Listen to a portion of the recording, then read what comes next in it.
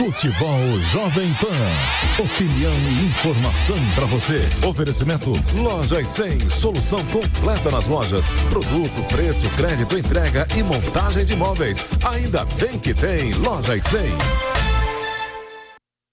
Bicho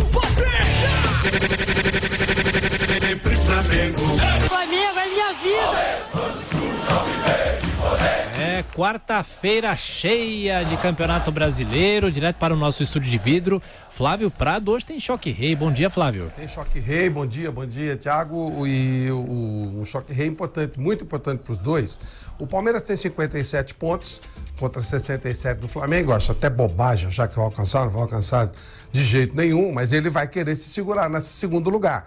O Santos está chegando, São Paulo tem 49, se vencer vai a 52, ficaria 5 do Palmeiras, faltariam nove rodadas, e o São Paulo entraria eh, com moral, né? Começaria, tá subindo o time do São Paulo. Hoje eu volto o Daniel Alves, é uma grande dúvida onde ele vai jogar. O time funcionou bem sem o Daniel no meio, né? Principalmente o meio do campo ali com o Igor Vinícius, a coisa andou bem. Vamos ver o que o Fernando Diniz vai fazer. Palmeiras volta o Marcos Rocha pelo lado direito. Palmeiras teve um jogo complicado lá no, em Santa Catarina, até em virtude dos temporais. Enfim, um jogo onde muito difícil fazer prognóstico. O certo é que na história o Palmeiras jamais perdeu do São Paulo jogando em casa, no Allianz Parque, no novo estádio. Só teve um empate, o resto só a vitória do time do Palmeiras. Corinthians vai jogar em Alagoas contra o CSA apesar dos, do 18º lugar do CSA, 26 pontos e 45 do Corinthians, não dá para dizer que o Corinthians é favorito. O Corinthians não está jogando nada, não ganha seis jogos. Hoje não tem Wagner Love, não tem o Bozelli, se bem que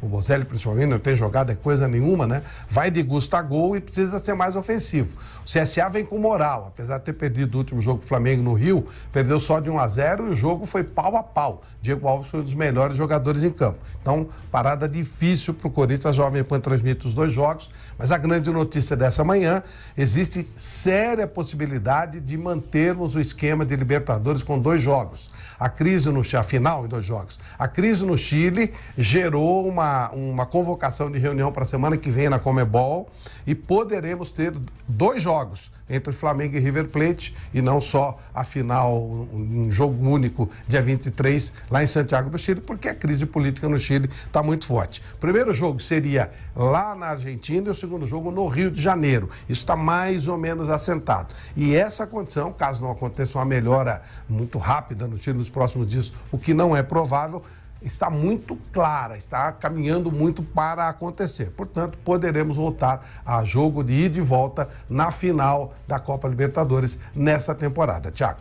Estaremos te acompanhando, Flávio, na programação esportiva da Jovem Pan, na grande audiência da Jovem Pan. Bom trabalho, Flávio. Bom dia.